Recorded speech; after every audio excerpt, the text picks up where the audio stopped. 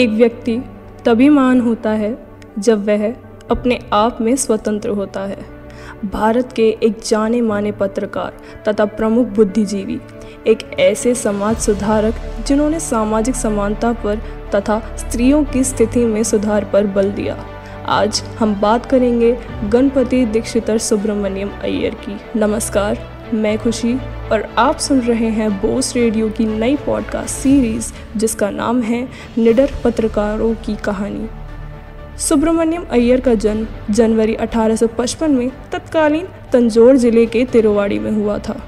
वह गणपति दीक्षित के सात पुत्रों में से चौथे थे, जो मुंसिफ के तिरुवाड़ी में दरबार में एक वकील थे।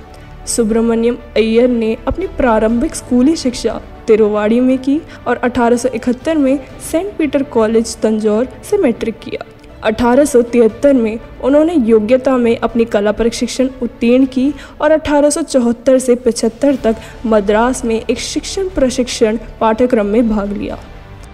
सर टी मुत्तुस्वामी अय्यर को मद्रास उच्च न्यायालय की बेंच में नियुक्त किए जाने के लिए, अपना समर्थन देने के लिए सुब्रमण्यम अय्यर ने अपने साथियों के साथ मिलकर 20 सितंबर 1878 में द हिंदू की स्थापना की। शुरुआत में द हिंदू को एक साप्ताहिक के रूप में शुरू किया गया था, लेकिन बाद में इसे एक त्रिसाप्ताहिक और फिर एक दैनिक में बदल दिया गया। साथ ही तमिल भाषा के समाचार पत्र स्वदेश मित्रन की स्थापना भी उनके द्वारा अठारह सौ बयासी में की गई थी। हिंदू ने अपनी स्थापना के बाद पहली बार अपनी उपस्थिति दर्ज कराई। सुब्रमण्यम अय्यर अपने ज्वलंत लेखों के लिए खूब जाने जाते थे। सुब्रमण्यम अय्यर ने भारत की स्वतंत्रता के लिए सक्रिय रूप से समर्थन किया और ब्रिटिश साम्राज्यवाद का विरोध करने के लिए अपना अखबार का इस्तेमाल किया। अठारह सौ सत्तानवे में जब बाल गंगाधर तिलक को ब्रिटिश अधिकारियों ने गिरफ़्तार किया तो द हिंदू ने गिरफ्तारी की कड़ी निंदा की।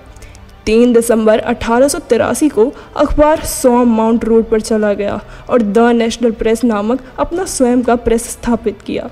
सुब्रमण्यम अय्यर ने हिंदू समाज में सुधार के लिए जोरदार अभियान चलाया। स्थानीय भाषा में बोलने के महत्व को महसूस किया और अपने सार्वजनिक व्याख्यानों में तमिल में जनता को संबोधित किया।